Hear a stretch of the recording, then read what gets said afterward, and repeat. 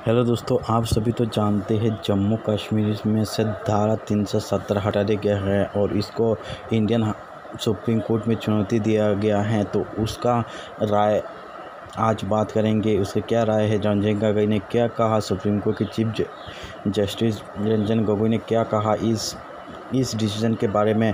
उससे पहले आपने अभी तक मेरे चैनल को सब्सक्राइब नहीं किया तो ज़रूर सब्सक्राइब कर ले ताकि आने वाली सभी वीडियो सबसे पहले देख सके। तो दोस्तों, आप सभी को तो पता है, लोगों ने बहुत सारे लोग सुप्रीम कोर्ट में जाकर ये इसके खिलाफ केस दिया है, लेकिन रंजन गोगोई ने एक बड़ा डिसीज़न ले लिया है। तो उन्होंने बताया कि इसका डिसीज़न मतलब इसका राय अभी नहीं आएगी, उसका ये कब आएगी वो डिसाइड करेंगे। अभी से इसका सुनवाई नहीं होगी, ये सुनवाई कुछ दिन बाद होगी।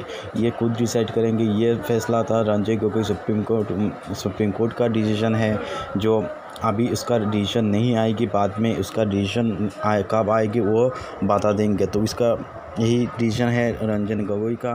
धारा तीन सौ सत्तर के लिए।